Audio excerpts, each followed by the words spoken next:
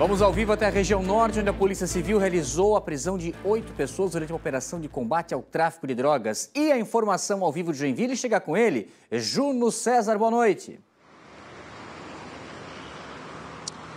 Uma ótima noite a vocês, anoto a todos que acompanham o nosso Cidade Alerta Santa Catarina. A integração, o trabalho feito entre as polícias dos dois estados, de Santa Catarina e do Paraná. Envolvimento da Delegacia de Polícia de Navegantes, Delegacia de Polícia de Itajaí e também a Delegacia de Polícia de Cascavel. Tirando de circulação uma quadrilha que estava agindo no tráfico de drogas, levando drogas de forma interestadual, ou seja, transitando entre o Paraná Paraná e Santa Catarina. Oito pessoas presas, sendo que sete delas foram presas preventivamente. Tivemos uma prisão ainda em flagrante acontecendo. Além disso, 15 mandados de busca e apreensão que foram realizados. Nesses mandados, durante esses mandados sendo realizados, a polícia acabou localizando e tirando de circulação quatro armas que estavam sendo usadas no crime. Além disso, a polícia tirou de circulação uniformes da Polícia Civil,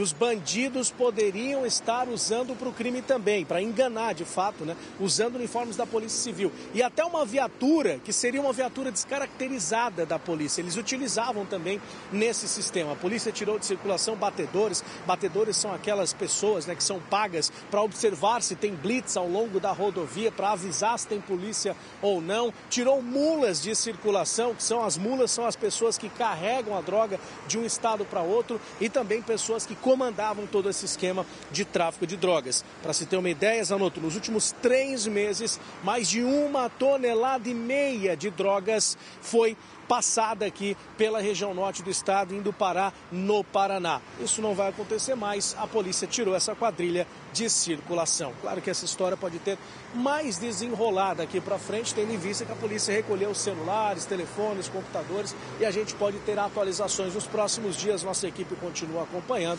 Agora eu volto com você aí no Estúdios Anotou.